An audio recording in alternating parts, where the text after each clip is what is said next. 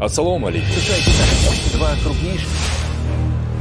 birinchi rahbarlar fidoyiligi uchun qattiqqo'lligi uchun chiqib ketyapti. Urush paytidagi vaziyat.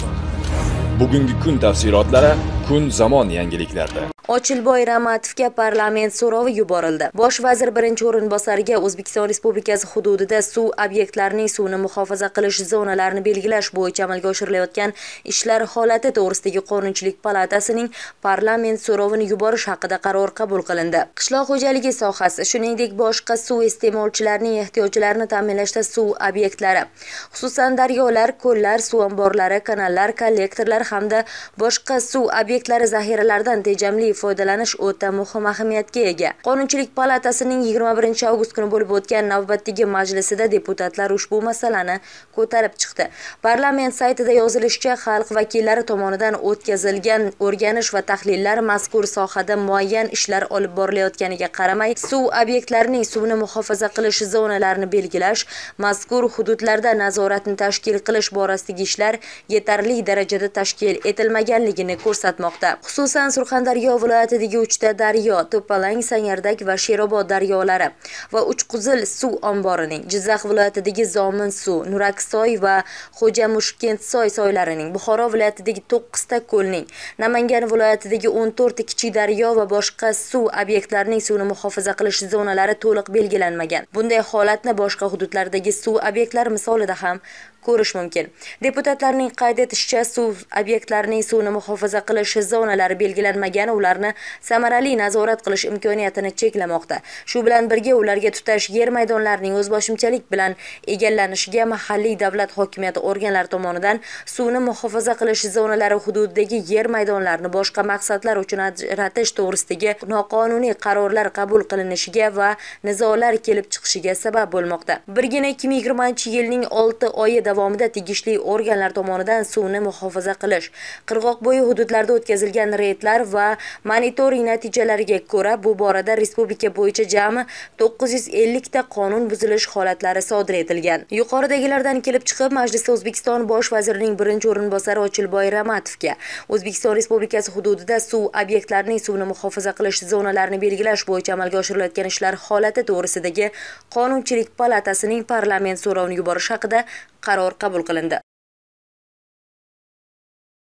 Rossiyada zaharlangani aytilgan Navalniy samolyotda Germaniyaga olib ketildi. Rossiyalik bloger va muxolifatchi Aleksey Navalniy bo'lgan samolyot Berlinga uchib ketdi. Uni politsiya hamrohligida reanimobilda birinchi tez tibbiy yordam shifoxonasidan aeroportga yetkazishgan. Samolyot aeroportdan mahalliy vaqt bilan soat 8:00 da uchgan. Eslatib o'tamiz, payshanba kuni ertalab Tomskdan uchgan samolyot shoshilinch Omskka qo'ngan edi. Bloger parvoz paytida o'zini yomon his qilgan va samolyot qo'ngach reanimatsiyaga yotqizilgan. Bemorning ahvoli og'irlashib, komaga tushib qolgan. Dastlab uning zaharlangani aytilgan edi, ammo Omsk shifokorlari bemorning qonida zahar mavjudligini aniqlashmaganini bildirgan. Jahon sog'liqni saqlash tashkiloti rahbari COVID-19 pandemiyasi kamida 2 yil muddatda yengib o'tilishini bildirdi. Jahon sog'liqni saqlash tashkiloti bosh direktori Tedros Adhanom Ghebreyesus COVID-19 koronavirus pandemiyasi kamida 2 yil ichida ortda qolishi mumkinligini aytib o'tdi. Jahon sog'liqni saqlash tashkiloti rahbari 1918-yildagi ispan grippi pandemiyasi ham 2 yil davom etganini eslatgan. Uning fikricha COVID-19 koronavirus pandemiyasi pandemiyasi dunyoda odamlar o'rtasidagi muloqot ko'paygani tufayli tarixdagi eng keng tarqalib ketgan virus bo'lishga yaqin turibdi. Lekin bizda pandemiyani to'xtatish uchun texnologiyalar va bilimlar yetarli deydi u. U nutqi davomida infeksiyaga qarshi kurashishda xalal berayotgan jihat globallashuv va odamlar o'rtasidagi muloqotning faollashgani ekanini ta'kidlagan. U zamonaviy texnologiyalarni pandemiyaga qarshi kurashdagi ustunlik beruvchi jihat deb hisoblamoqda. Shu sababli biz pandemiyaga yaqin 2 yil ichida barham beramiz. Bunda barcha kuchlarni birlashgan holda safarbar etish, milliy birlik va global birdamlik asosiy qurol bo'ladi, dedi. u. u koronavirus infeksiyasiga qarshi vaksina ishlab chiqilishiga umid qilishi va kasallikning tarqalishiga qarshi eng yaxshi choralarni ko'rish lozimligini bildirdi covid 19 koronavirus infeksiyasi 2019 yil oxirida xitoyning uxan shahrida tarqala boshlagan keyinchalik u yerdan boshqa xorij davlatlariga o'tgan va 2020 yil 11 mart kuni jahon sog'liqni saqlash tashkiloti ushbu virusning tarqalishini butun dunyoda pandemiya darajasiga chiqqanini e'lon qilgan zoir mirzayev rossiyada chiqindi yig'ib onasini boqqan 11 yoshli islombek bilan uchrashdi. Qashqadaryo viloyati hokimi zoir mirzayev rossiya davlatida chiqindi yig'ib onasini boqqan shahrsabzlik 11 yoshli islombekning oilasiga 20 million so'm pul hamda islombek va uning opasiga o'quv qurollari sovg'a qilgan. Bu haqda daryoga ma'lum qilgan viloyat hokimligi axborot xizmati rahbari ahror sodiqovning aytishicha mazkur voqea hokimning bir kuni loyihasi doirasida amalga oshirilgan. Ma'lum bo'lishicha zoir zoir mirzayev hokimning bir kuni loyihasi doirasida 21 avgust juma kuni islombekning oilasi bilan ko'rishib ular bilan suhbatlashgan. Islombekning oilasiga 20 million so'm moddiy yordamdan tashqari oshxona mebeli shuningdek islombek va uning opasi uchun o'quv qurollari sovg'a qilindi. Quvonarlisi zoir toyirovichning topshirig'iga ko'ra oilaga yangi qurilayotgan uylarning boshlang'ich to'lovi to'lanib uy ham beriladigan bo'ldi. Eslatib o'tamiz islombekning muhojirlikda chiqindi yig'ib onasini boqayotgani tasvirlangan video ijtimoiy tarmoqlarda tarqalgach oila yaxshi insonlar ko'magi bilan o'zbekistonga qaytgan edi shundan so'ng islombekning otasidan onasi shahnoza Jalolovaga undirilmay qolgan 5 million 270 ming so'm 808 so'm aliment pullari to'liq undirilgan.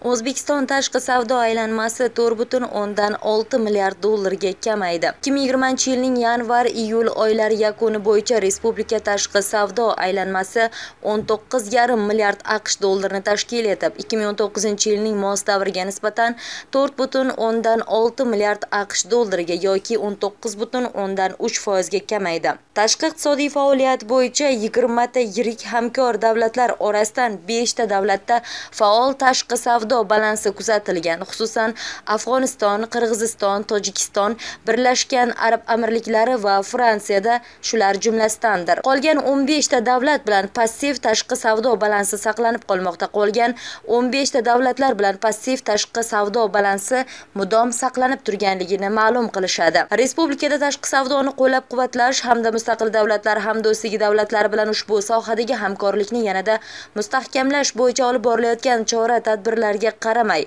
2020-yilning yanvar-iyul oylarida tashqi savdo aylanmasida mustaqil davlatlar hamdo'stligi davlatlarining ulushi 32.6 foizini tashkil etib, tashqi savdo aylanmasidagi 2018-yilga nisbatan ulushi 5.9 foizga kamaygan. Avvalroq O'zbekiston pandemiya sharoitiga qaramay Rossiya bilan tovar aylanmasini 18 foizga oshira olgani to'g'risida xabar qilingan edi.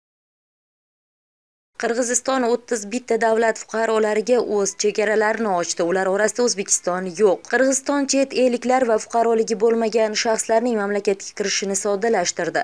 Bu haqda qirg'iziston hukumat matbuot xizmati xabar berdi. Ma'lum qilinishicha qirg'iziston vazirlar mahkamasi ikki ming yigirmanchi yil o'n yettinchi martdagi xorijiy davlatlar fuqarolari va fuqaroligi bo'lmagan shaxslarning qirg'iziston hududiga kirishiga vaqtincha cheklov kiritish to'g'risidagi buyrug'iga o'zgartirish kiritdi. Kiritilgan o'zgartirishga muvofiq cheklov choralari sharoitida quyidagi toifadagi xorijiy fuqarolar va fuqaroligi bo'lmagan shaxslar qirg'izistonga kirishi mumkin. Qirg'iziston oliy o'quv yurtlari talabalari qirg'izistonda doimiy yashash huquqiga ega bo'lganlar. Qirg'izistondagi tibbiy muassasalarga davolanish uchun yuborilganlar. Yaqin qarindoshlarining dafn marosimiga borayotganlar. Bundan tashqari mamlakatda koronavirus tarqalishi bilan bog'liq oqibatlarni minimallashtirishga qaratilgan iqtisodiy chora tadbirlarni amalga oshirish doirasida chet el fuqarolarining ketishini bosqichma bosqich tiklash to'g'risida qaror qabul qilindi. Epidemiologik vaziyat barqarorlashishiga qarab qirg'iziston sog'liqni saqlash bosh vazirligi har oyda ikki marta birinchi va o'n beshinchi sanada ko'rib chiqiladigan tegishli mamlakatlar ro'yxatini tasdiqlaydi. Ushbu davlatlarning fuqarolari qirg'iziston qonunchiligida belgilangan tartibda qirg'iziston chegarasini kesib o'tishi mumkin. Hozircha qirg'iziston quyidagi o'ttiz bitta mamlakat fuqarosiga mamlakatga kirishga ruxsat berdi. Mazkur ro'yxatga o'zbekiston kiritilmagan. Jahon sog'liqni saqlash tashkiloti va qirg'iziston tashqi ishlar vazirligidan olingan ma'lumotlarga asoslanib davlatlar ro'yxati qirg'iziston sog'liqni saqlash vazirligi buyrug'iga binoan. Ikki ming yigirmanchi yil yigirmanchi avgustda qayta ko'rib chiqilgan. Davlatimiz rahbari mamlakatimizda chiqishi loyihalashtirilgan maxsus avtomobillarni ko'zdan kechirdi. Jizzax avtomobil zavodida 3 xil modifikatsiyadagi volkswagen minivenini ishlab chiqarish rejalashtirilgan. 7 o'rinli bu transport vositasi turli sohalarga ixtisoslashtirish uchun mos keladi. Shavkat mirziyoyev o'zbekiston uchun yangi bo'lgan ushbu yo'nalish import o'rnini to'ldirish va eksportni kengaytirishda muhim ekanini ta'kidladi.